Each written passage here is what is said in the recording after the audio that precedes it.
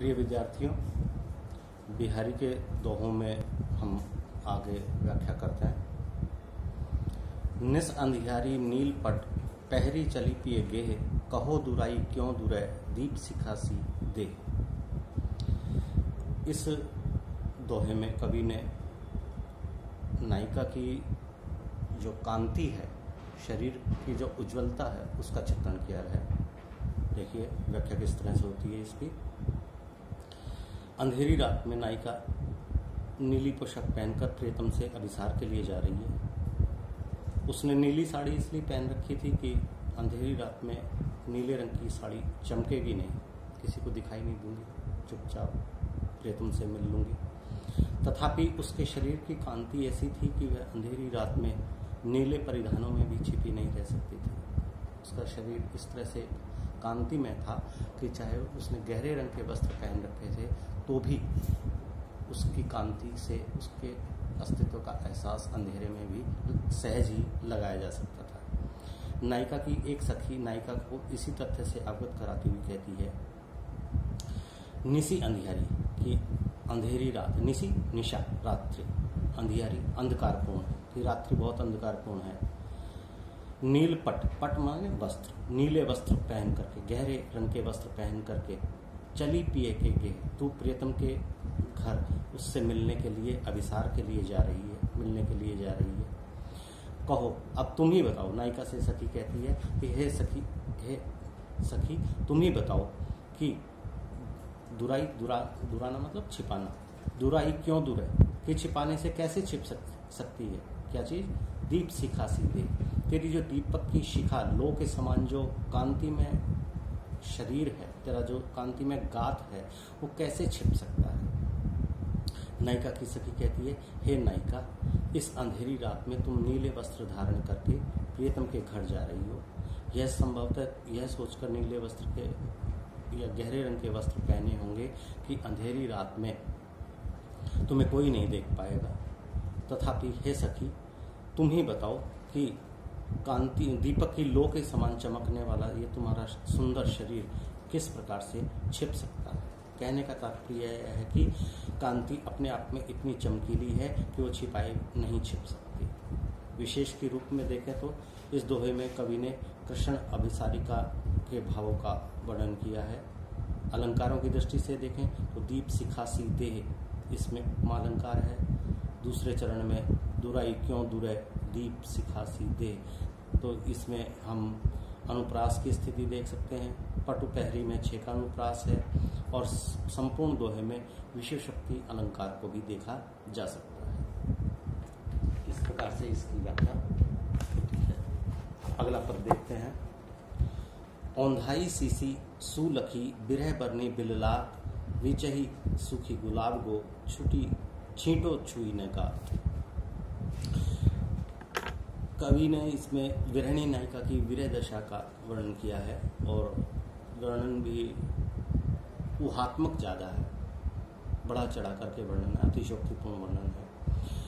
विरहणी नायिका की सखी नायक से आकर के नायिका की विरह की जो स्थिति है, उसका वर्णन करती हुई कहती है कि औंधाई सीसी, कि विरह वर्णी विरह के वर्णी जलते हुए।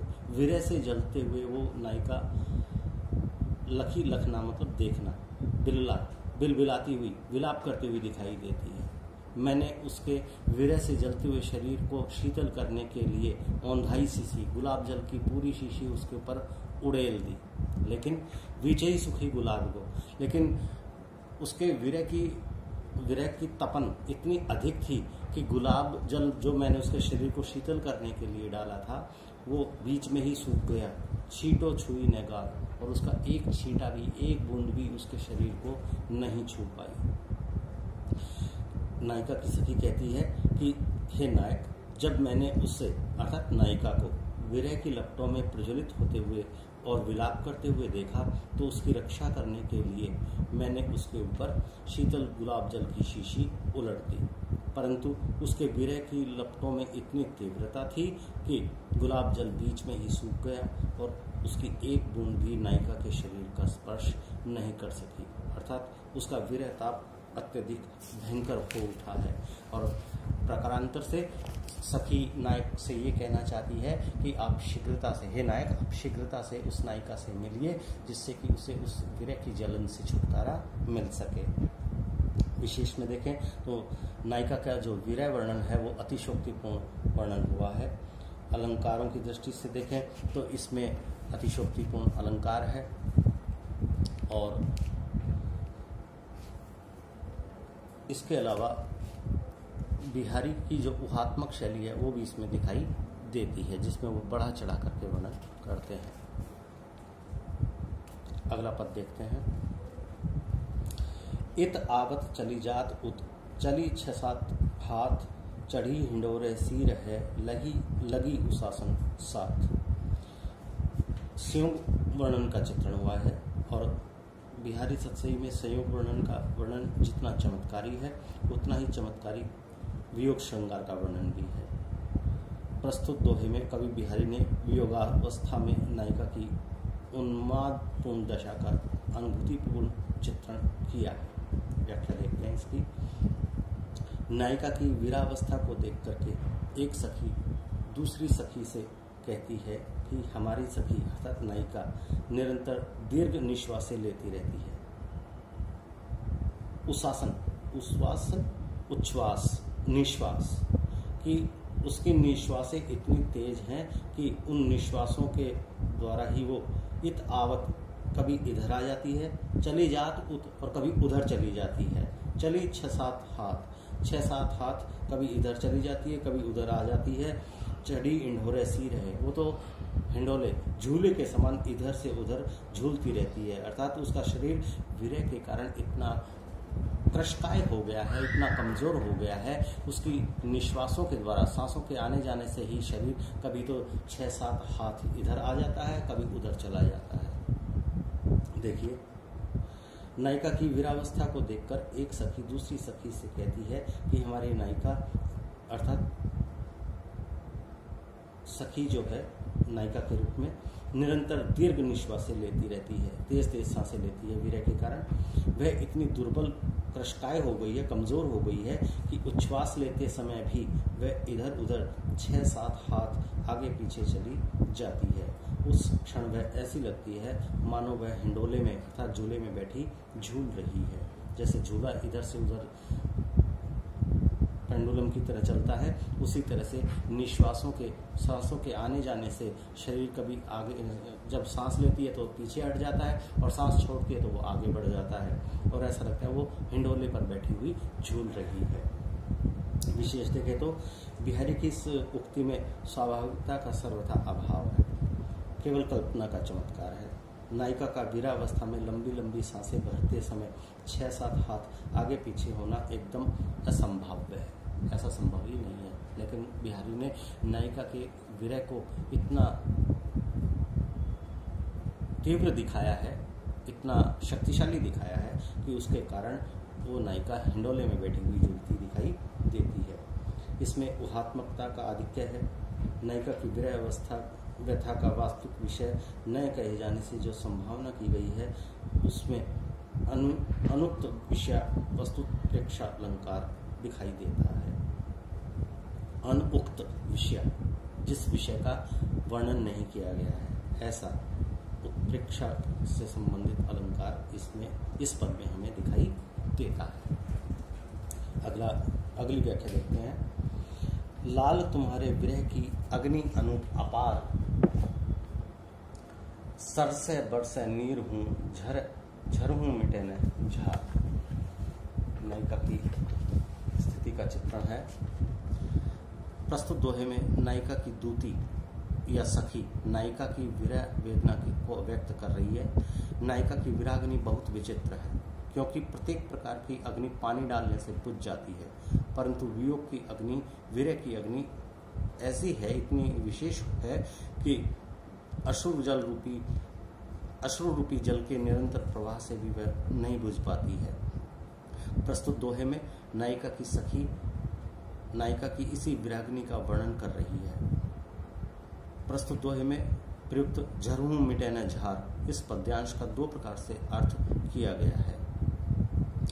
विद्वानों के एक वर्ग के अनुसार इस पद्यांश का आशय ग्रीष्म का प्रचंड ताप है तो लाला भगवान दीन जिन्होंने बिहारी की टीका लिखी है, उन्होंने इसका अर्थ अश्रु जल का अनवरत प्रवाह लगाया है।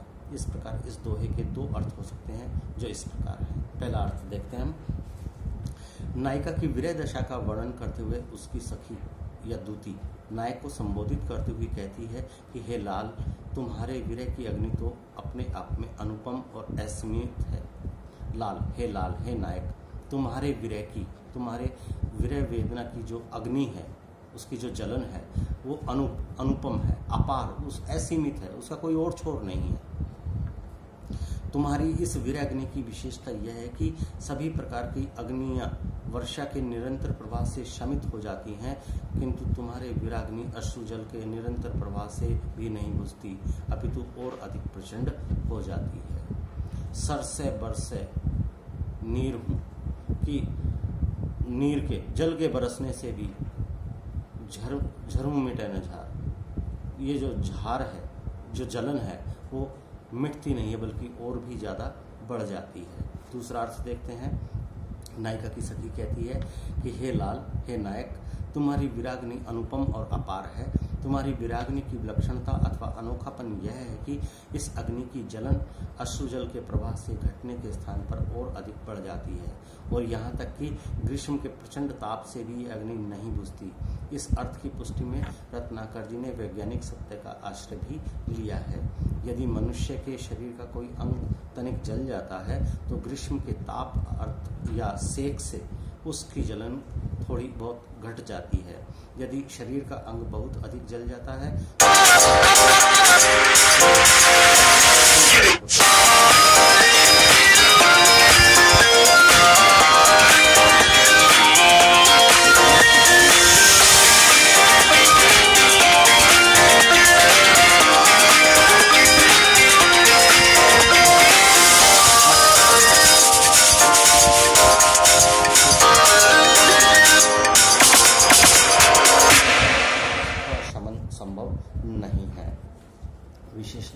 इस दोहे में।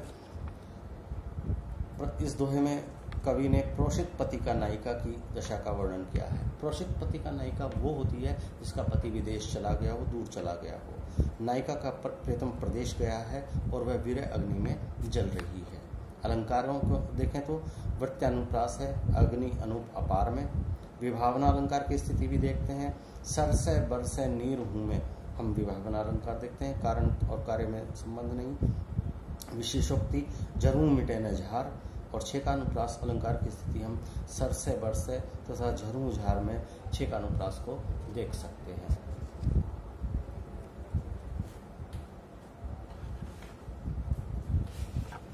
अगला पद देखते हैं कहलाने एकत बसत, अहि मृग, मयूर मृगबाग जगत तपोवन